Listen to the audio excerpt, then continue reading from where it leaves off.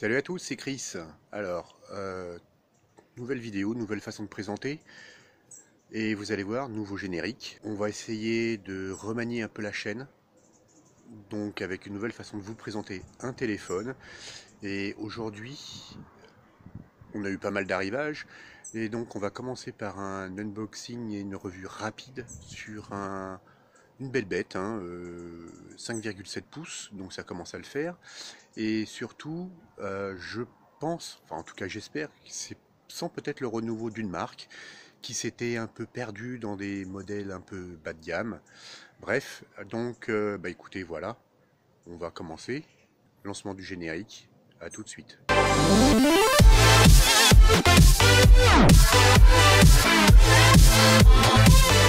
Voilà, comme dit juste avant le générique, nouvelle version des vidéos, nouveau générique, nouvelle façon de vous présenter le matériel. On a abordé un petit peu les différents points déjà au préalable, c'est-à-dire vu par-dessus. Maintenant, vous avez la vidéo en 4K. Un nouveau micro, nous nous sommes offerts un nouveau micro cravate ce coup-ci. Nous sommes moins embêtés et normalement il devrait y avoir moins d'écho. Pour le moment, je vous l'ai annoncé juste avant le générique, mais écoutez, cette grosse bête, ce 5,7 pouces, c'est le Doogie F7 Pro. Alors, déballage rapide, il est déjà configuré, hein, le téléphone. Donc déjà configuré, déjà installé, déjà presque testé avec les outils de bench. Ça, ça ne demande pas grand chose. Après, nous allons le garder pour le tester dans la vraie vie pendant une bonne huitaine. Et on vous dira déjà, ça fait déjà deux jours en fait que l'on a reçu ce F7 Pro. Et donc voici ce Doogie F7 Pro.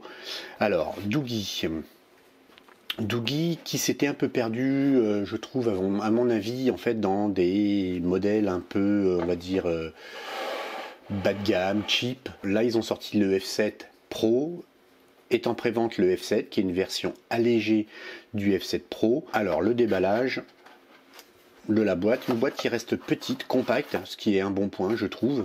C'est mon avis. Parce que je pense qu'il est inutile de sortir des grosses boîtes énormes pour euh, montrer son téléphone à l'intérieur. Un quick start avec des copies d'écran colorées. Voilà. Il est fourni avec une protection d'écran et le film qui pour nettoyer l'écran, mais par contre pas d'alcool ni ce genre de choses, et une coque arrière dans le même esprit que la coque arrière ici, parce que vous le verrez après par la suite, ce n'est pas du full métal. Donc, coque silicone, un chargeur vite fait emballé. Alors, un chargeur, je ne sais pas si vous voyez, 2 ampères, voilà. Alors vraiment emballé vite fait, hein. hop. Le petit outil pour ouvrir le tiroir, c'est propre, voilà. On va le laisser là. Et un chargeur vous voyez, USB type C et USB. Donc voilà, vous savez déjà qu'il est USB type C. Alors, vous le voyez déjà, une LED de notification. Il y a, bien sûr. Alors, premier point que je dirais négatif par rapport à ce téléphone, c'est le rapport, on va dire, prix-équipement. Alors, prix-équipement, j'exagère, parce que le seul point que j'ai noté tout de suite et que j'ai trouvé assez désagréable vu son prix, ce sont les boutons non rétroéclairés. Et vous pouvez euh, chercher des boutons Android, ils ne sont pas du tout remplaçables, ces boutons tactiles, c'est eux que l'on doit utiliser et ils ne sont pas rétroéclairés. Premier point. Autre chose de bien, par contre, c'est de l'Android stock. Alors légèrement customisé via les icônes, mais franchement rien d'extraordinaire. Alors voilà ce que j'ai installé moi.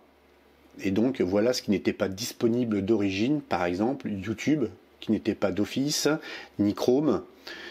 Et si on regarde toutes les applications, donc vous avez des choses, un peu la mode sur les smartphones chinois en ce moment, tels que Beauty Plus. Et par contre, ils ont enregistré un enregistreur screen record ici. Donc je ne sais pas d'où sort cette application. Je n'ai pas encore vraiment tout cherché, j'ai juste lancé pour le moment vraiment les premiers tests de bench. Et donc là, c'était juste une revue rapide déballage.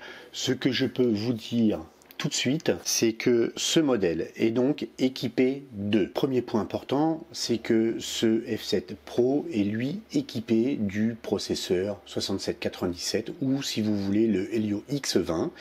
Il a 4 Go de RAM et 32 Go de ROM. Vous avez à l'avant un capteur de 8 interpolé en 13. Pour le capteur arrière, c'était un 21 mégapixels, donc c'est le Sony IMX 230. Les premiers tests montrent une très bonne qualité, en tout cas de traitement, y compris la nuit. Donc ça c'est déjà un point important. Bon, en même temps, ce capteur il est assez réputé pour ça. Ensuite, il a toutes les fréquences nécessaires pour nous en France. Donc son écran est un 5,7 pouces en Full HD. Par contre, si vous regardez bien les bords, ne vous attendez pas à avoir des bords fins, voire très fins sur ce modèle de chez Doogie. C'est là que on voit que Doogie a un petit peu de retard par rapport à la concurrence actuelle qui minimise au maximum les bordures, voire à faire du full borderless. Donc là, ce n'est pas le cas de Doogie. On est loin du millimètre, en tout cas du cadre euh, de bordure pour l'écran. Il a la possibilité d'enregistrer en vidéo 4K, mais c'est 4K 2K. Alors ça c'est un peu étonnant. Et euh, il est équipé donc d'une batterie de 4000 mAh. Voilà pour les grandes lignes de ce modèle Doogie F7 Pro. Je le mets en pause, on va regarder les détails de finition. Alors, contrairement aussi à la concurrence, c'est qu'il ne joue pas le jeu du très très brillant. Alors, c'est un espèce de gris bleuté, vous le voyez, assez bien, je pense. Euh, un espèce de gris bleuté, très mat. Seuls les biseaux sont brillants. Donc vous le voyez, c'est très très léger. C'est particulier, euh, ça change de ce qu'on voit d'habitude, très clairement. Et la face arrière, donc vous avez le capteur, la double LED pour le flash, le lecteur d'empreinte, et écoutez cette euh, face arrière, vous avez entendu, voilà ce que ça donne. Donc c'est un plastique euh, qui marque en plus d'ailleurs, ou alors ça se nettoie peut-être un peu légèrement, je ne pense pas. Ça marque quand même beaucoup, je trouve. Alors il y a un micro de compensation ici en haut, la prise jack parce que eux l'ont gardé sur le haut, sur le dessous le micro, la prise USB type C, le haut-parleur. Alors le tiroir ici, le bouton power, volume plus moins, la LED pour vos selfies, donc parce que Doogie a installé une LED pour vos selfies, ce qui est plutôt bien pour ceux qui aiment. La caméra se trouve ici, capteurs, les capteurs, euh, je ne sais pas lesquels ils sont, mais ça, on verra par la suite. Vous voyez le dessin en fait en ce qu'ils appellent le U-shape, donc euh, vous le voyez, ça fait un U sur les côtés. C'est euh, bon tendance sans être extraordinaire. Mais ce qui est franchement original, c'est euh, ce métal brossé, mat. Pourquoi pas? Alors, pour ce qui est du tiroir, alors un tiroir qui n'est pas fait d'une seule pièce, puisque vous le voyez ici. Voilà. On voit la plaque de métal qui permet de sertir la face avant qui bouge légèrement, mais très très peu finalement. Donc c'est plutôt bon. C'est plutôt bon signe même. Et puis un tiroir surtout très compact. Alors, vous le voyez correctement, je pense. Voilà. C'est deux nano SIM. Et non pas deux micros, hein, c'est bien deux nano. Par contre, vous le voyez, pas d'extension de mémoire sur ce modèle. Ils le fournissent avec 32 Go, ce qui, à mon avis, lorsqu'on ne fournit pas d'extension via SD est un peu limite. Euh, ils auraient dû le fournir, au moins ce Pro avec un 64 Go. Bon, bref. Euh, en tout cas, vous le voyez, le tiroir s'insère parfaitement et c'est très propre de ce côté-là, très bel usinage. Bon, voilà, ça c'est déjà un premier point. Le capteur d'empreinte est paramétré et ça c'est vraiment un gros point positif de ce modèle Doogie Vous le voyez, c'est instantané. Si je déplace un peu le doigt sur le côté, il prend pas, bien entendu. Mais si vous le placez bien au milieu, il marche tout de suite. Voilà. Donc ça, c'est vraiment un très très bon point. Alors j'ai fait une première analyse. Vous le voyez, le malware Bits anti-malware a détecté deux infections. Et ces deux infections sont un wireless update.apk qui lui dit que c'est un fake update. Alors, rien n'a été installé, hein. c'est vraiment l'outil qui a permis de mettre à jour le téléphone puisqu'il a déjà reçu une première mise à jour. Et donc, bah, écoutez, c'est celui qui est fourni euh, avec, et c'est l'APK qui est installé sur le téléphone Doogie. Donc, je conseille de ne pas le désinstaller. Ensuite, vous avez un Find Search, ceci, qui est cette icône, qui est l'outil de qui va vous permettre de faire des recherches sur euh, le net lorsque vous serez connecté. Et pour lui, c'est aussi un malware. Voilà pour la première analyse faite de ce téléphone. Alors, les premières photos, je vous en mets que deux parce qu'il faut garder le suspense pour la suite de deux jours. Je vous garde euh, la nuit pour le grand test final qui va venir assez rapidement parce que j'ai déjà travaillé pas mal pendant la nuit pour euh, faire les premiers tests. Et bon, voilà, donc euh, il me reste plus qu'à tester dans la vraie vie avec une connexion 3G, 4G, voir comment ça réagit. Et je vous ferai une vidéo suite à ce grand test. Pour l'instant, je vous mets donc deux photos et à vous de juger ce premier aperçu de la caméra de 21 mégapixels Sony IMX 230.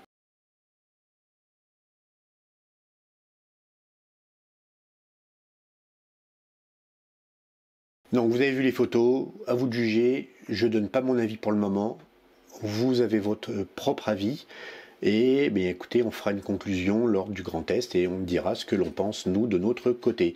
Alors je suis sur les paramètres, rien d'exceptionnel côté paramètres. Moi alors, comme d'habitude, euh, en termes d'affichage, je le dis et je le répète, je suis en adaptation de la luminosité en automatique. Euh, là, il y a un Clear Motion, donc qui est l'optimiseur de la fluidité vidéo. Je suis passé dessus, ok.